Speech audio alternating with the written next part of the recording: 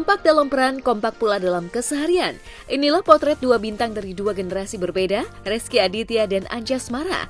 Memainkan lakon ayah dan anak di sinetron Cinta Buta, Reski dan Anjas Mara tak tanggung-tanggung demi totalitas. Keduanya bahkan rela merogoh kocek demi menunjang penampilan dan karakter mereka di sinetron Cinta Buta. Baru-baru ini, Reski Aditya dan Anjas Mara melakukan fitting jas di salah satu tempat desainer ternama. Tapi benarkah selain untuk keperluan syuting, Reski juga melakukan fitting untuk jas pernikahannya dengan Rezer Patricia? Seperti apa reaksi Reski saat disindir Anjas Mara tentang jas pernikahan?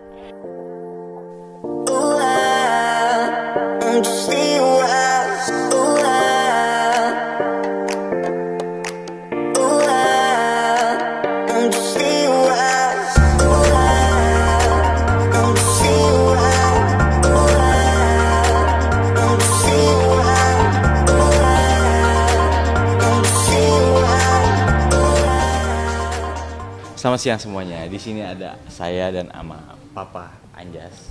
Suara jangan ke sini, ini ke sini. Oh iya, di sini di sini ada Papa saya dan saya uh, bareng-bareng kita lagi uh, ngepas bikin jas. Bikin jas uh, Fitting buat buat uh, pernikahannya Rizky. uh, di sinetron. Iya dong, segera segera aja. Segera coming soon. Moga-moga doain aja biar lancar.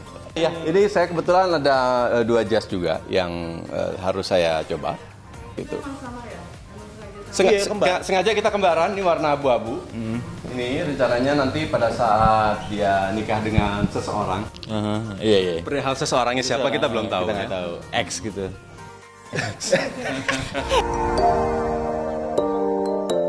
Entah sebatas candaan atau memang Reski Aditya tengah mempersiapkan jas pernikahan, yang jelas beradu akting dengan Anjas Mara adalah pengalaman berharga bagi Reski Aditya. Tak hanya ilmu di dunia peran, Reski juga banyak mendapat masukan untuk menjaga penampilan.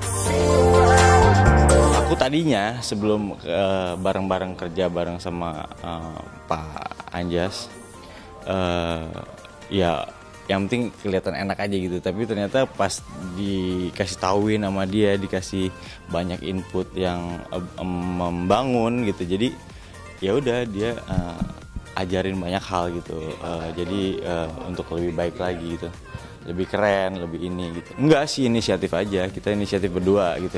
Karena kan memang eh, kalau dilihat di di tayangan juga kan em, enak gitu kan eh, sama bokap juga apa, bokapnya keren gitu kan. Jadi anaknya juga berusaha keren gitu. Syuting bareng Anjas dia ajarin, "Bu, buat aja bla bla bla" gitu kan. Baik, jadi detailnya juga memang beda gitu.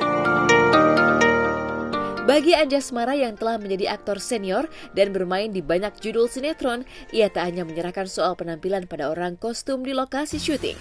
Agar terlihat beda dan sempurna, Anjas Mara kerap memesan jas sendiri. Dan ini pula yang dilihatnya dari sosok Reski, di mana pemeran Raihan tersebut tak jarang mempersiapkan kostum sendiri. Ini suhu. Jadi eh, Pak Anjas ini suhu dia apa eh, sifu sifu. Jadi jadi eh, banyak hal yang kayak input-input bagus untuk membangun dia banyak membantu gitu. Karena memang pengalamannya banyak, pialanya juga banyak ya kan. Jadi wajar lah untuk membantu. banyak ya aktor-aktor muda yang paling eh, apa namanya yang paling eh, memperhatikan perihal performance itu eh, Rizky itu. Nggak gue frankly speaking aja nih sama lo gitu lo lo modal gitu loh bos. Oh, ada ada juga pemain yang nggak mau modal. Ada cuma ya lu siapin aja semuanya. Eh, dari dari ujung kaki sampai ujung rambut pengennya disiapin gitu loh. Padahal kan sebenarnya kalau untuk kita pengen kelihatan bagus ya harus harus didesain juga gitu loh. Nah, sense of belongingnya tuh harus ada gitu loh. Bangun karakternya seperti apa. Nah Rizky adalah salah satu pemain muda yang yang menurut aku adalah dia dia, dia punya punya punya itu gitu loh Wah, sudah makin dekat aja ya sama bulan Ramadan. Makin gak sabar pengen lihat aksi Bang Deddy Miswar dan kawan-kawan dalam sinetron Para Pencari Tuhan Jilid 12 nanti.